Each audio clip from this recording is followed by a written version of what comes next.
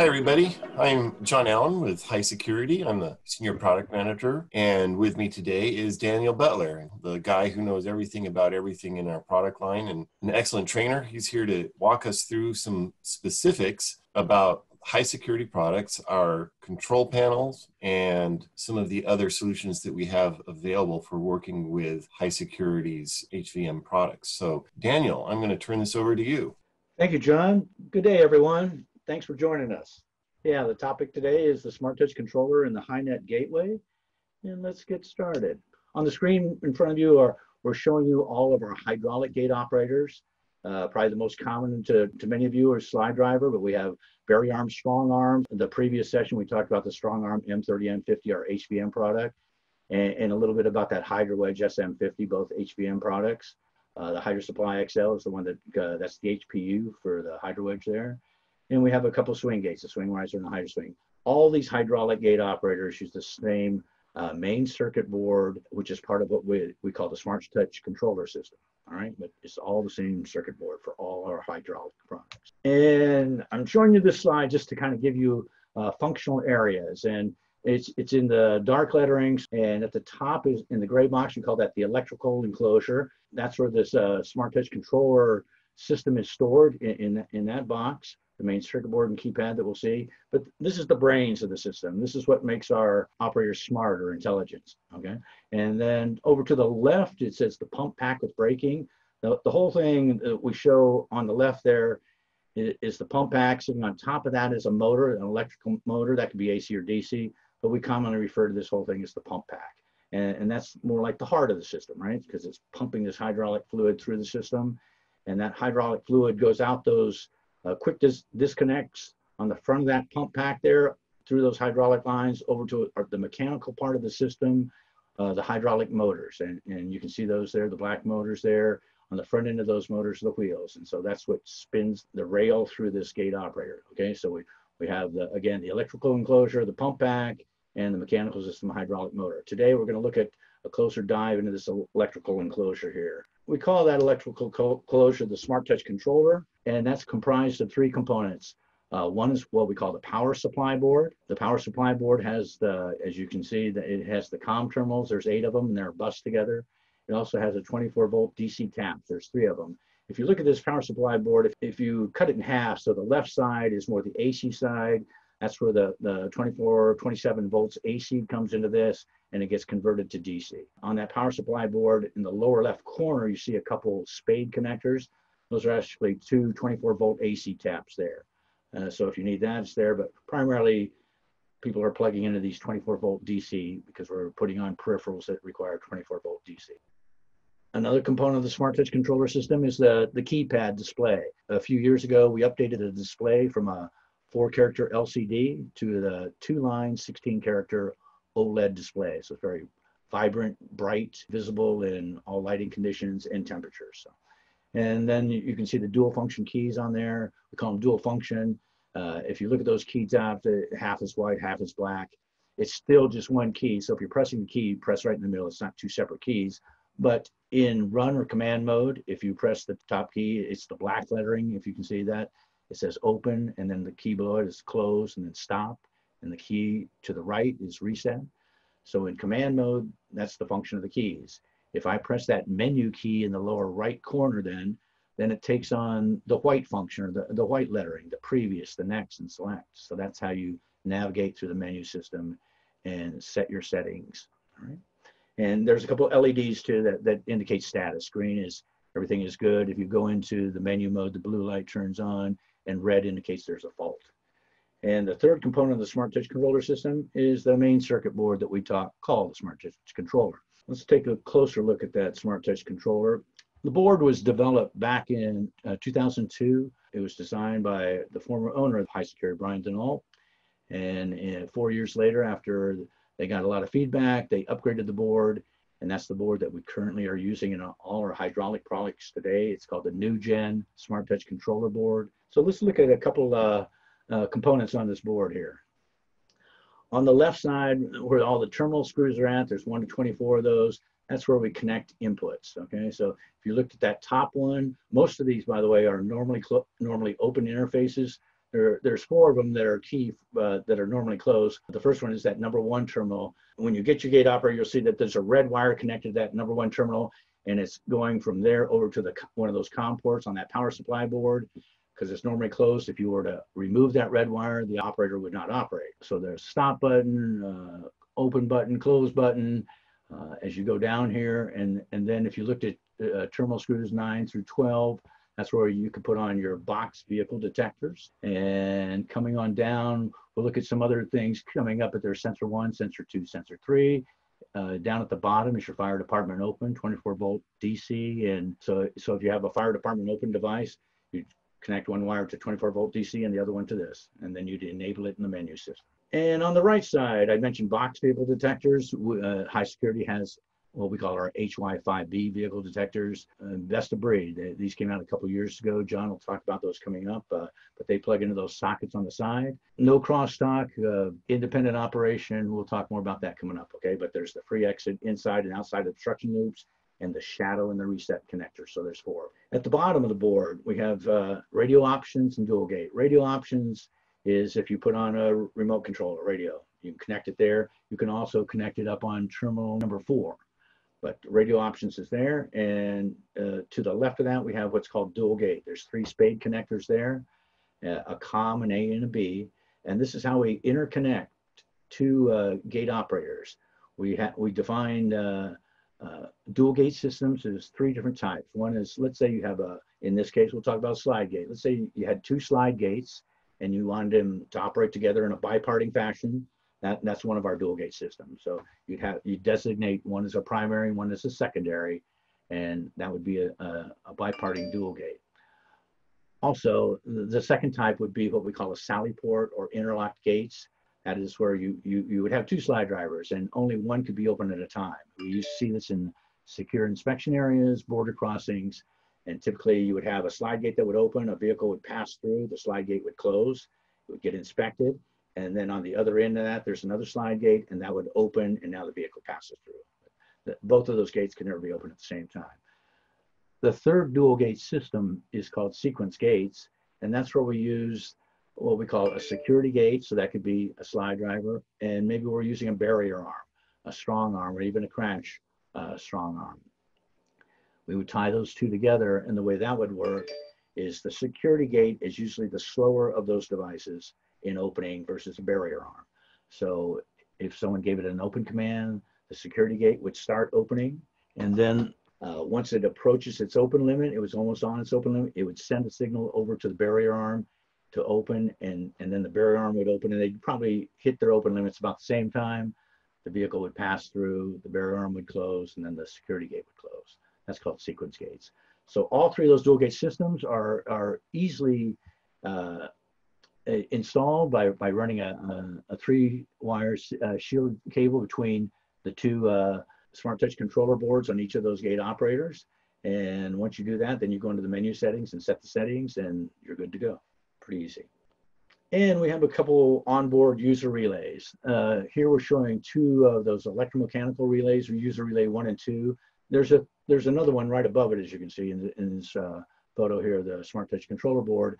We, we use that one. Usually there's going to be a sticker on there that's motor relay, so that's not available to you.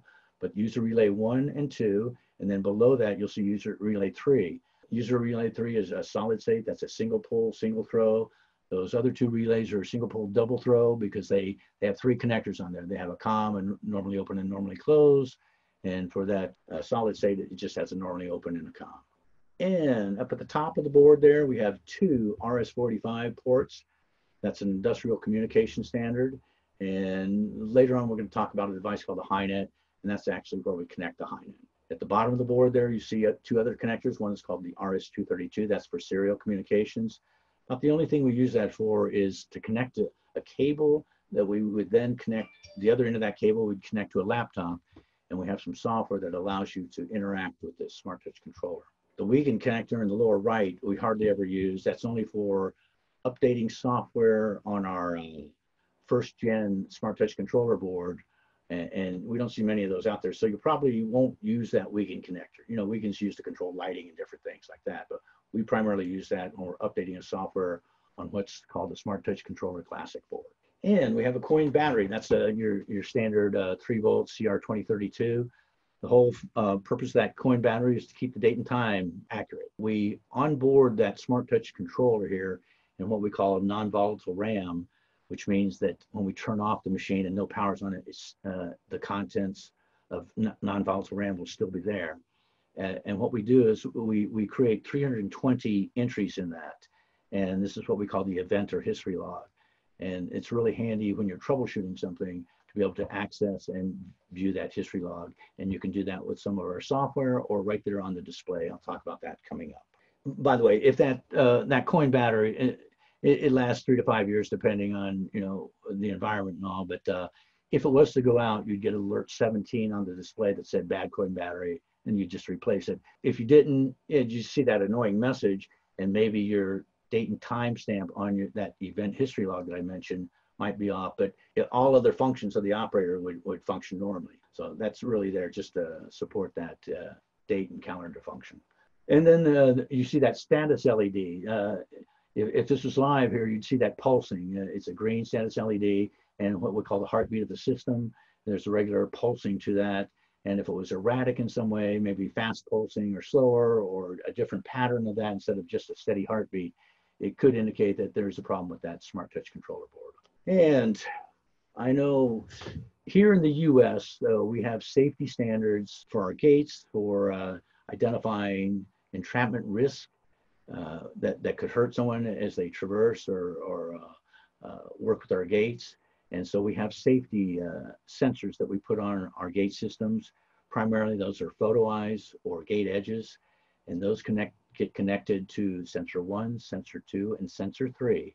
Uh, notice on, on sensor one, too, there, there's two places for that sensor one. There's one on the side of the board next to sensor two and sensor three. There's also one at the bottom, but it's either or. You can't use them both. So the maximum amount of sensors we could put on this with using sensor one, two, and three would be three, right? But if you needed to put more than that, uh, there's a device that Miller Edge makes called MIM62, which stands for the multi-input module, and, it gives us six inputs and two outputs. And here in the US, UL325, when you're connecting it to those sensor one, sensor two, sensor three, we're saying those photo eyes or edges are what we call monitored. Monitored means that before we open or close the gate, move the gate, we're going to check that the, the proper amount of sensors are installed here in the US for a slide driver, uh, the, the minimum amount would be two sensors, one to cover the open direction, one to cover the closed direction. And if they are not installed or they're malfunctioning in some ways, we won't move that gate panel. It's, it's a safety feature and we implemented this back in the US back in 2016. So we're monitoring those sensors that we put on. As long as we're talking about their sensors, in our slide gates now, we bundle sensors with that. We bundle a through beam photo eye and also a gate edge. And this is a, a, graphic that shows you those entrapment zones and where we might put the sensors. So again, on, on a slide driver, we require that a minimum of, of two external sensors be put on for the gate to operate for what we call both directions of travel. For the closed direction, that is when the gate is closing across the roadway, typically what we might put there would be a photo eye to protect the closed direction of travel. When the gate is opening, there's also an entrapment risk there and what we tend to do is we we think the good place to put in what's called a wired edge is where it says number one there, that drawing zone, because as the gate is opening, and if someone reaches through or gets trapped in there, it'll pull them into that area and, and cause some uh, serious damage or serious injury to the person. So that's what we recommend these days on putting those the sensors that we bundle with our uh, slide driver, uh, one across the road, one on the trailing and I'm not going to go over this in detail, but, but as you can see, as we're connecting, here I'm showing a wired edge. And for us, those sensor one, two, and three, I mentioned it earlier, but those are normally closed interfaces. A wired edge is, is a normally open device. And so to connect that to directly to that, our sensor one, two, or three, it won't work because uh, that's a normally open talking to a normally closed we use what's called a gate edge module. And, and that's why it says up at the top, it says connecting a wire edge with the HY2NC. The gate edge module is that little device that I'm showing here in the lower left. Okay, that's called the HY2NC. It stands for HySecurity, two normally closed interfaces. So it's got two channels. I can have, hook up two edges to this device and it allows the a normally open device to be connected to our sensor one, sensor two, three, which again is a normally closed interface. Right? Also note that as we're connecting this, we don't put the COM wires on the COM terminals on the power supply bus. We connect those to what's called sensor COM, which is terminals 14 and 15 on the Smart Touch controller board. And once you connect something, now you've got the physical hardware connection. Then you would go into, and that's what these this, this little installer menu displays are. They're showing you here. Now we're going into the installer menu. And because we've got this connected to sensor one and sensor two, we'd go into sensor one and define what is hooked up to that. So in this case, it's going to be an eye, and you could have the eye set up to cover the open direction or the closed direction. And there's even one, if you have the right photo eye, that you can cover both directions, okay? And in this case, excuse me, I was talking about eye. In this case, it's an edge. So we'd be covering the edge in the open direction and the edge in the closed direction, sorry. And now here's the eye. So we, we have been shipping the EMX IRB MON, which is a through beam photo eye. And the top part of it there is the transmitter, right? That, that's out on the, uh, the gate edge itself. And then we have the receiver. And as you can see here, we're, we're connecting things uh, to sensor one and sensor two, and also to the 24 volt DC spade connectors. We're not connecting anything to the COM terminals on that power supply board because any COM terminal connection on a sensor is connected to the sensor COM terminals on the Smart Touch controller board, which is terminals 14 and 15. Also keep in mind on, on some of your devices, such as that EMX IRB MON, there's some dip switch settings, so make sure you set those correctly. All right, so, so we've talked a bit about the hardware.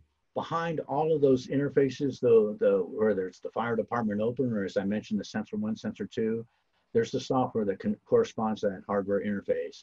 And, and that software is again, I, I showed you the keypad display and with that we can, there, there's a two, two, two level menu system that we call the user menu and the installer menu.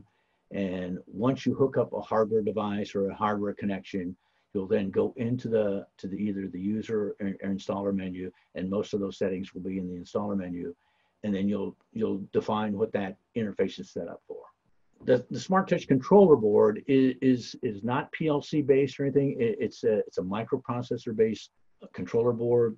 And as a result, the, the, the real thing that makes all the settings and makes everything works is firmware in the board. For the hydraulic operators on this screen, you can see that, that, that we have different versions of that. And for what's called the new gen STC, the current version of version 461, uh, that's software that's available on our uh, website, www.hysecurity.com. It's gratis. All you need to do is go there to the tech support and download it. And then there's a second piece of software, and that's the application software.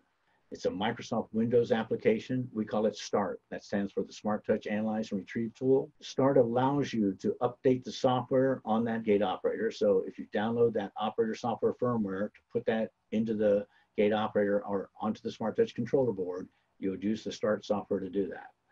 The other thing that the START software allows you to do is to look at the that 320 event history log that I mentioned earlier.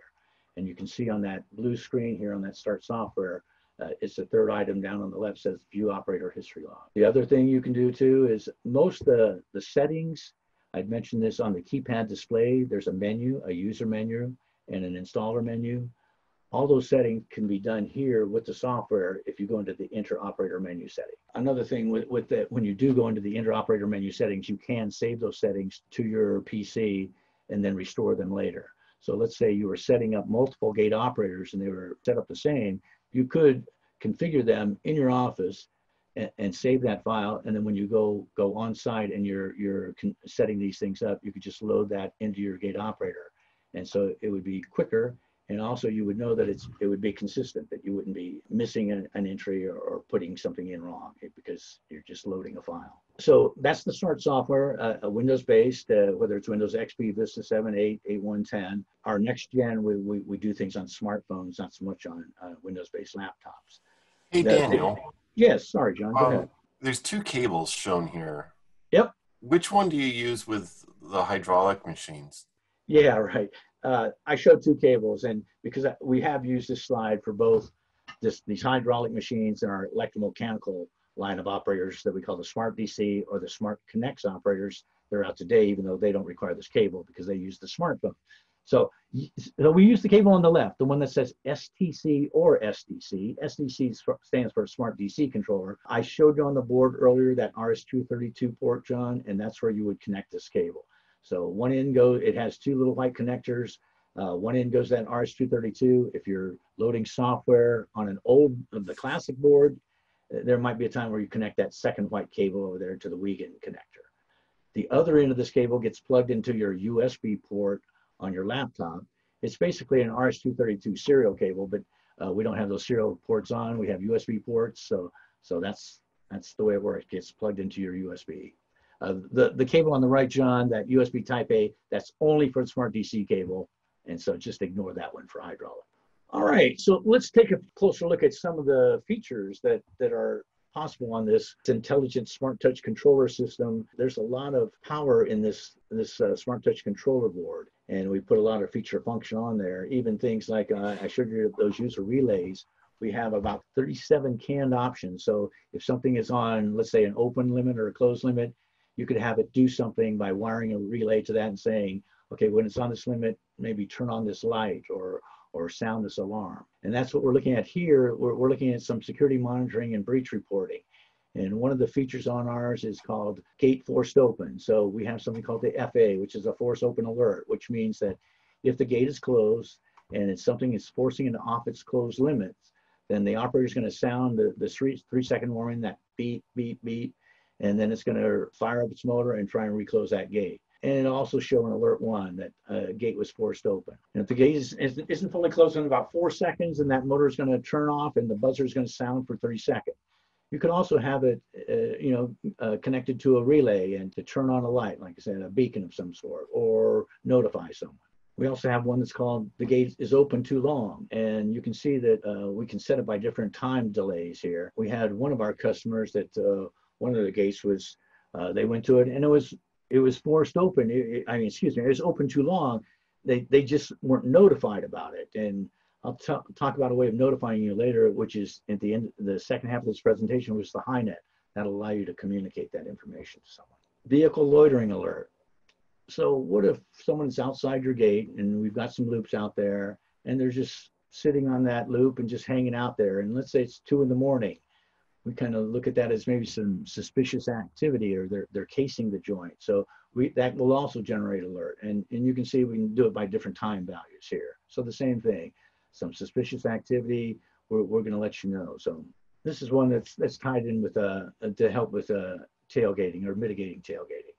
Uh, we have on board our, our operator usually there's always a way of opening the gate, right? Someone badges in or a guard is there, presses the open button. And then a lot of times you, you also want a way of closing the gate. And, and in our user menu, we have a one of the parameters there or variables is called the close timer. By default, the close timer is disabled. But if you enable the close timer, how that works is when a vehicle is passing through, once the gate is open and it's on its open limit and the vehicle passes through, once it clears all the, those loops, then the close timer counts down. The close timer is from zero to 99 seconds. So let's say I set it at five seconds. And so the, the car is passing through, the gate is open on its open limit, vehicle passes through, clears the loops, and then the close timer starts counting down. If you want it to close faster, and that's in the standard mode, and so that's called what we call DL equals one, the close timer's counting down. But if you want it to count down a little bit quicker to help with mitigating tailgating, uh, then we could have it to where the close timer is going to start counting down as soon as it's on its open limit. It, it's not going to close it until the vehicle clears the gate, but you can see that that's going to shave off some seconds, right? It's counting down quicker. Before the close timer on DL1 was starting to count down that it had to be on its open limit and the car clears. On this one, it starts counting down with the close timer setting. Once it's on the open limit, it still doesn't close it until the vehicle clears the gate. So, and if you want it to close even faster, we, we have it, as long as you had two loops, an inside and outside loop, and it's bridging those, then that'll trigger that when it's bridging those to whether to start closing it immediately or in DL4, it'll stop the gate. So this goes from DL1, 2, 3, 4, it closes the, the gate quicker and trying to stop from someone tailgating you in. But if someone does tailgate you in, we can also send an unauthorized vehicle entry alert. And so again, We can turn on a light or let someone know or turn on a, an audible alarm or send something to someone to let them know that tailgating is happening. And now, and what works in conjunction with all this, and speaking of loops and everything, is our HY5B vehicle detector. I mentioned that earlier. John, can you talk a little bit about this guy? Sure. This is a proprietary design vehicle detector. Um, it only works with HySecurity smart touch, smart DC, and smart connects controllers. And it has a uh, sophisticated machine to machine interface with it that allows us to do a lot of things that nobody else can do with their vehicle detector. And Daniel talked about some of those things already, like the, the tailgating detection. This vehicle detector is sensitive enough that it can detect two cars going over a loop, even if they're so close to each other that the call status of the loop detector never changes and identify that and flag that as a tailgating event and set an alarm or alert or some other response from the gate operator for that. But it has a bunch of other features that enable it to work very well with a gate. It has this feature called automatic gate compensation. I think there's another slide about that. It's got terrific immunity to lightning. So if lightning strikes one of the loops, great protection in there, a spark gap and dedicated grounding for that. We have three different metrics of loop diagnostics that we look at and it even has the ability to uh, do vehicle counts so we can monitor the number of vehicles in and out of, of an entry access point the interesting thing about the vehicle detectors if you see this car versus truck versus motorcycle um, you can see that a car being lower to the ground is the machine that provides the highest signal on a loop detector and a truck with its high clearance provides a much weaker signal of course the weakest signal of all is the motorcycle signal which can be down near the noise floor. I'd mentioned on that uh, of our download history log, those 320 entries. Every night, if you're looking at that log, you'll see that uh, every night, every midnight, every midnight, we reset that, and so you'll see that in the log, and it'll start at uh, where we show on this the improved loop diagnostics at 777. So it starts at 777, and as it goes through the day, as things change, you'll see those numbers change. And, and, and, that could help you really determine if there's some noise issues or a bad loop going on, things like that. It really is apropos in helping you troubleshoot any loop issues you're having. Right. And that comes through in the um, event log and um, even show on the display of the Smart Touch controller. And I just want to say a little bit more about how automatic gate compensation works. Uh, when you have a loop in the vicinity of, of a gate, you know, in, in this case, a slide gate, as that gate moves back and forth, it can induce a signal into the vehicle detector. And so what we do is we actually map that signal and memorize it and then null it out of the um, signal produced by the, the vehicle detector so that it takes that noise source out and allows us to have a lower noise floor, which gives us a better ability to detect motorcycles. Thank you, John. I'm going to move on here, John, to some usage tips for the Smart Touch controller. The menu key at the bottom, if you press that menu key one time and you're watching the display, it will scroll different settings for the gate operator. It'll talk about something called build year, or I'd mentioned dual gate. Remember, we talked about those dual gate systems. You'll see that in the display if it's set up in dual gate mode. It'll talk about the operator type. Again, this one Smart Touch controller board is used in all those hydraulic operators. So the way we identify which one it's in is we have a field called operator type. So you would see an operator type of one is a slide driver, for example, or an operator type of eight would be the strong arm crash M30. And that's how we distinguish the different uh, characteristics of that board for that specific operator. We have handing, set handing. Handing is uh, when we make a machine, we don't know which side of the road you're putting it on. Uh, for HySecurity, when you're on the inside of the perimeter, not on the public side, but on the secure side, and you're standing at the operator, if the operator gate opens to the left, that's called a left-handed operator. If it opens to the right, it's called a right-handed operator. Usage class is part of the, the US, US UL 325 safety standard. Uh, we, we classify different sites or, or installations according to whether they're more residential or industrial or more hardened security. So that's what usage classes. Uh, then we get input voltage and cycle count. This is like the odometer on your car, right? One cycle equals a, uh, an open and close. So it'll tell you how many cycles. Maybe you could use that to base your maintenance on. And there's the close timer setting too. Okay, so so if you press that menu key on that display keypad, it'll scroll those settings and, and then it'll stop and at the bottom it'll say close timer. When it says that, I, I, mentioned earlier that we have a two mode memory system. One is called the user mode and one is called installer mode. When you press that menu key two times and watch the scroll and stops the close timer, that tells you you're in the user menu, okay? If I did not want to see the, the, the scroll because I really just wanted to go to the user menu and change it, I press the menu key two times. By pressing it two times, it skips the scroll, and in the display it says close timer. So now you're ready to just uh, do what you need to do in the user menu. And uh, the way you would, uh, let me see, it says press select key to stop the scroll. When it's scrolling, it, when you when you hit that menu key and you're watching the scroll, if you press the select key, it's also the stop button, so it'll stop it just in case you, you, you know, it's going too fast for you basically, right? Let's go on to the next one to check the software version on your on your gate operator. If you press that reset key once, the display will say HySecurity H461. H is for HySecurity, 461 is the version number of the software on there. Cold reset. We capture a lot of what we call adaptive data. When John was talking about the HY5B, uh, we tune it to the environment and we store that data. But sometimes we we want to clear out that data. Maybe we're having a, an issue and, and we and we're not sure, so we want to reset things. If you press that reset key, it does a, a, reset. It's similar to turning on and off your operator, right? So so you can do that. But but what it doesn't do because it doesn't remove all that adaptive data because we store that in non-volatile RAM as well. So if you're really having an issue, and, and, and maybe one of the things was when we were working with HY5Bs initially, we were capturing a lot of data and, and, sometimes we wanted to clear that out and because we wanted to, it to reprofile itself, if you will. So to do that, you press and hold that reset key for about five seconds. In, in the world of like, uh, if you had a PC, if you did a warm boot, you you press three keys and then reboot it. But if you did a cold boot, which would remove everything, you turn it on and off. This is like turning it on and off. It's a better way of clearing all that adaptive data off. So that's a good trick. Press that reset key, about five seconds for a cold reset, okay? Check the date and time, press and hold the stop key, and that'll display the date and time for you. Uh, and, and on the LCD displays, this is not really apropos anymore, but, but for those four character LCD displays, different temperatures, they get a little bit washed out, and you can change the contrast on those uh, by pressing the menu keys.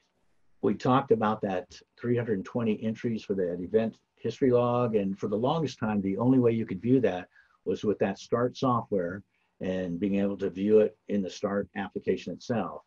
Uh, a couple years ago, we thought eh, it's handy to be able to do that, to be able to view the log without having a laptop hooked up to it. Uh, so, so we built that feature in. The thing is, we're limited by the display. So, in the close, in the user menu, and we get there by pressing the menu key two times. I could press it once and watch the scroll, and then I'd be there as well. But in the in the use, user menu, there's a setting called LG, and LG stands for log, and the default is LG is zero. Zero in digital means it's off, right? And one is on. So we would select that, turn it on, and then you'd see the first line of the log, the first of those 320 entries displayed in the display. And to see the next one, you'd hit the next key. And if you want to see the next one, you'd hit the next key again or go previous, use those keys. If you wanted to scroll down a bit, you'd hit press and hold that next key and it'd be and it'd go multiple times. So you can see the the, the log now one one line at a time in the display. Pretty handy, helps you uh, troubleshoot again. And we've been talking about this, uh, and, and there's a whole bunch of settings, and we, we, we don't have enough time to talk about all those, but they're all in the reference material that we ship with the operator. And on the screen, I'm showing you two things. One is our tech support website, uh, tech support to, to, to be able to get into to get manuals and everything, we don't require that you uh, register, but for some other things, we do require that you register.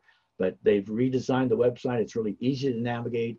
And with every one of our operators, we, we basically have two, two manuals. One is an installation manual. It's a smaller, in, in this one, you can see on the upper right here, that's the installation instructions from the slide driver. That's maybe 10 pages. It's a bigger format, maybe 11 by 17.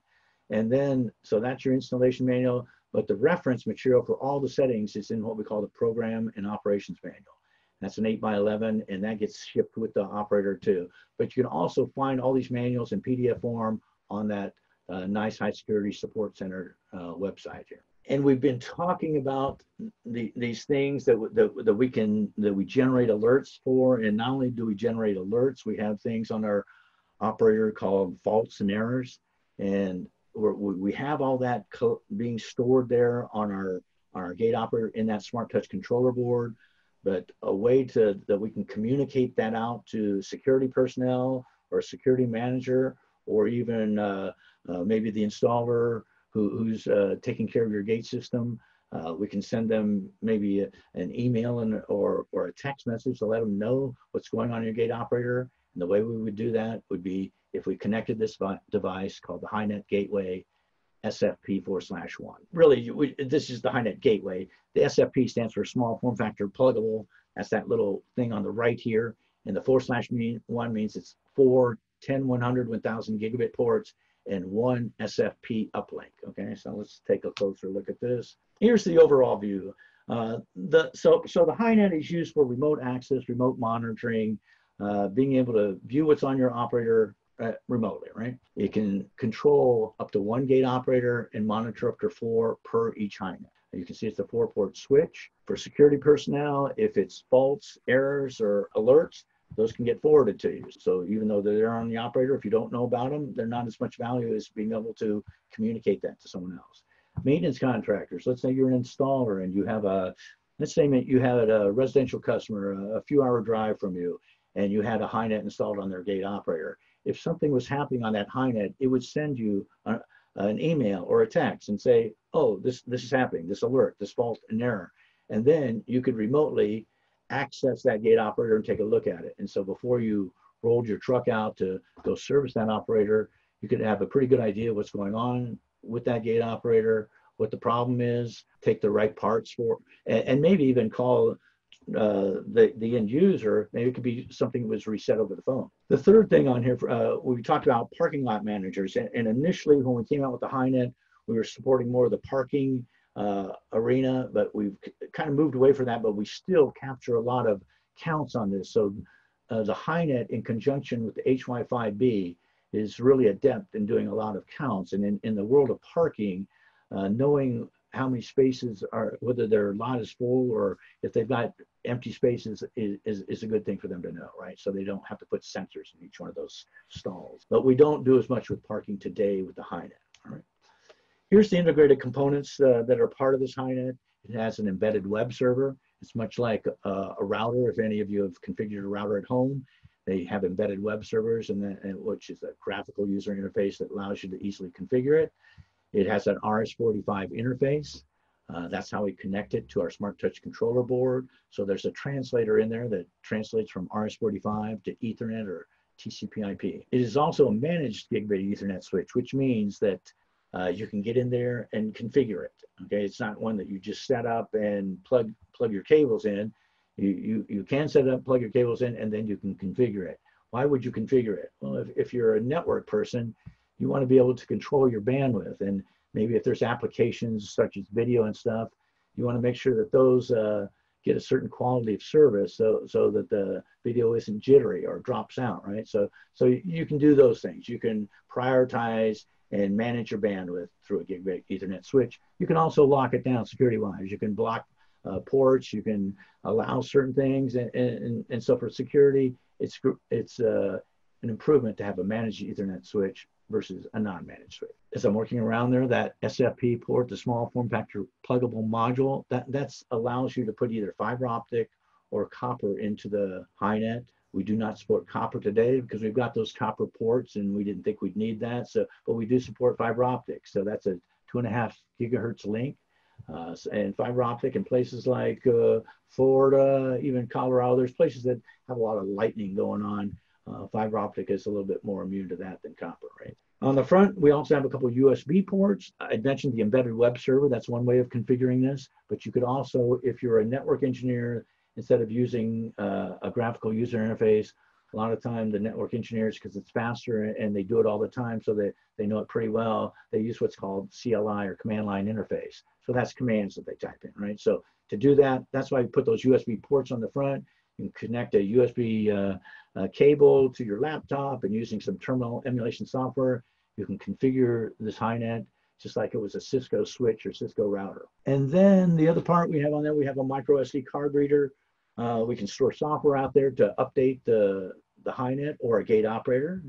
And, and we can also write uh, download logs. So I'd mentioned on our SmartTouch controller, we have a limit of 320 uh, download entries, and that's just uh, restricted to the size, how much memory you have to store it in. I know we support up to at least 16 gigabyte uh, micro SD cards here, so you can quite write quite a log out there. You can get uh, more than 320 entries. I've covered most of this. The one part that I haven't covered on this is the fourth item down that says REST and RESTful Web Services, and, and actually the last item too. So we're going to uh, talk about that right now. Uh, REST and RESTful Web Services. We ship with it that embedded web server that allows you to control one operator and, and monitor up to four. But what if you wanted to control all four? You could write some custom code to do that. So to customize the gate operator, excuse me, the HyNet software, you could use our, our API or application programming interface is REST or REST Web Services. Uh, REST is a pretty well-known thing out there. I think it was created by Cisco, as a matter of fact, and it was a, it allows people to quickly uh, create uh, little applications and it's like uh, working with a high level scripting language. So it's not as difficult to work with as if you're working with C, C programming or assembler or something like that. So that's the REST and RESTful Web Services. That's the API to allow you to customize the HyNet software. The, the bottom entry, Active Directory and Radius Server for network uh, administrators in an office, uh, you have, when you, when you log into your network, that's a function that we call AAA, authentication, authorization, and accounting. So who are you? What have you? Uh, who are you? What can you do? And what have you done? Right. So uh, I plug in. I, I, I come in with a username and a password and says, oh, yep, that's good. And now here are the resources you have access to: these servers, these printers, things like that. Active Directory controls all that. Active Directory is part of uh, uh, if, if you have a Microsoft Office or, or different types of Office environments, it's to, to control your users and what resources they, they can access. So that's Active Directory, and the Radius servers is the one that does that AAA function. Oh, I, I do mention at the bottom that simple network management protocol. Uh, we do support, there, there's security management packages out there, and usually uh, what you need to, to be a security management package is a database of devices out there, and th those devices have characteristics, and our HyNet has certain qualities and characteristics, and we provide that in a bit of software that gets loaded into that database, and that's called a MIB file, Management Information Base. And so that we can supply to you, so you can plug this thing into your security management pack. So the target market, perimeter security. Let's say you have a large uh, campus and you have a perimeter around your campus and you have access control points into your campus. And on those access control points, you have your gate operators. And let's say in this large campus environment, you have a nice security management packages uh, to, to allow you to monitor and manage your, your different devices out there. And you have a HyNet on there, so it's feeding into that security management package. And that allows you to uh, notify your security pers uh, personnel of any breaches and threats and your maintenance personnel of faults, errors, things that are happening on that gate operator. By putting something on the network, it gives you the flexibility to, to not only communicate that, but access different things if there was an application involving like a SQL server as well. So we've, we've talked a bit about this remote diagnostics, remote access into the, your gate operator. Uh, uh, you can control your gate from a distance. We can actually use the software to open and close and stop that gate remotely. Now, whenever you do that, if you're doing something remotely, you want to have some visibility on that. So the HyNet also supports an IP camera plugged into it. So you will have a camera watching that gate before you're trying to control it. The gateway system overview here for the HyNet. Uh, the HyNet comes ready uh, to be plugged into the, the RS-45 ports on your uh, the SmartTouch controller, your gate operator. It also supports the Smart DC controller, but in this presentation, we're just talking our hydraulic gate operators here. It comes complete with the cable harness. You have to make your own uh, cable uh, because we don't know where you're putting your your HyNet. So it could be set up to be stored in your, your gate operator itself. It could be in the guard shack. It could be in another building quite a ways away because uh, we can either connect it via the, the Ethernet cabling and Ethernet cabling allows us 100 meter drop lengths, or we can use that RS-45 and cable distances for RS-45 are two to 4,000 feet. So you can keep that uh, unit quite a distance away. If you are connecting multiple gate operators to the to the HyNet, the first gate operator gets connected directly to the HyNet, but the second and third and up to four gate operators will get, get connected via cabling that plugs into the RS-45 ports. In the upper right corner, we have those RS-45 ports. There's two of them. And, and so we daisy chain from one gate operator to, to another. And here's one of the airports up here in the Northwest. They just recently replaced all their slide drivers. And on each one of their slide drivers, they decided to put a HyNet. So they have quite a perimeter and a number of openings that are quite a distance from them. But from the central site, they can pull, look at every one of their operators, update all the software, uh, view it through the IP camera. In, in, the photo on the right, you can see here, here's the HyNet itself. You can see the fiber optic coming into that SFP port. Those are those two orange cables at the very top. These two other green cables are going, you can see these are little uh, PoE injectors over here to the right. PoE stands for Power over Ethernet.